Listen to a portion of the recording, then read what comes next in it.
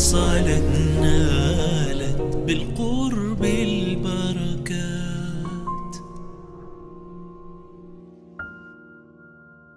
الحمد لله والصلاة والسلام على سيدنا رسول الله. قال سيدنا العباس عم النبي صلى الله عليه وسلم للنبي عليه الصلاة والسلام يا رسول الله إني أسلمت لأني رأيت آية وأنت في المهدي كنت تشير إلى القمر. أينما تحركت بيدك تحرك معك. فما كان يقول لك؟ فقال يا عم إن القمر كان يناغيني ويسليني فيسليني عن البكاء. ومعروف كذلك قصة انشقاق القمر التي أخبر الله سبحانه وتعالى عنها في كتابه وسميت سورة في القرآن باسم سورة القمر. وكان القمر يشبه به أو يشبه بالنبي صلى الله عليه وآله وصحبه وسلم. هذه الأخبار التي بين النبي صلى الله عليه وآله وسلم وبين القمر. فيها معان ولطائف. أولا أن القمر هذا كان يسلي رسول الله صلى الله عليه وآله وصحبه وسلم في طفولته.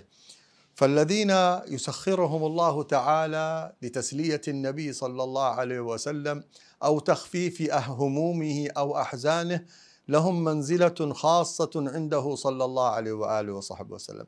ثانيا القمر هذا يفتخر أنه صار علامة من علامات وآية من آيات صحة رسالة النبي صلى الله عليه وآله وصحبه وسلم بانشقاقه عندما أشار النبي صلى الله عليه وسلم عليه عندما تحداه المشركون في أن ينشق له القمر فشق الله سبحانه وتعالى له القمر ورأته أعين الناس القريب والبعيد سواء. يقول الإمام البصيري أقسمت بالقمر المنشق إن له من قلبه نسبة مبرورة القسم.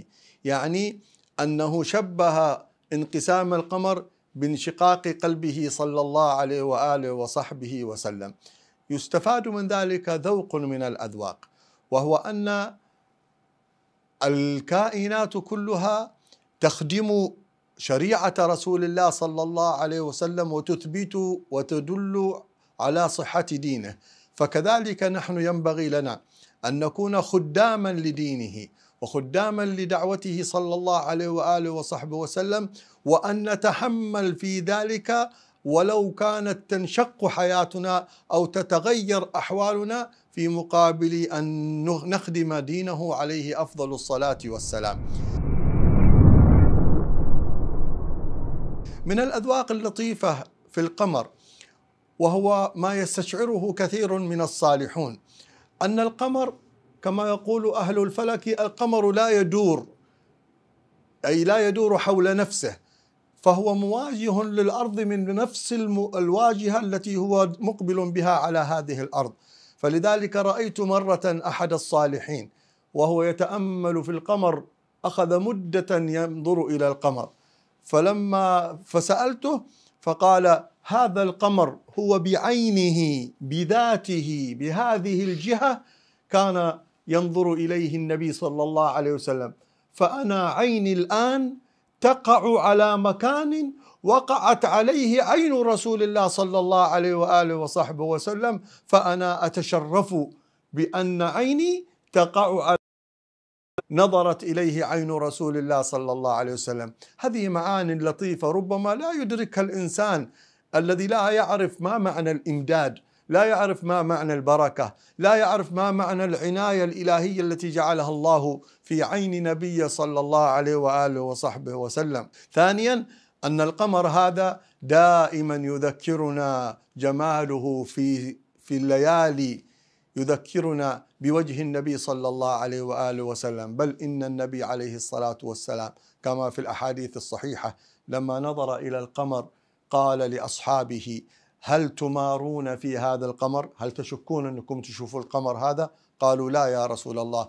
قال فإنكم ترون ربكم في الجنة كما ترون هذا القمر. لا تمارون في ذلك.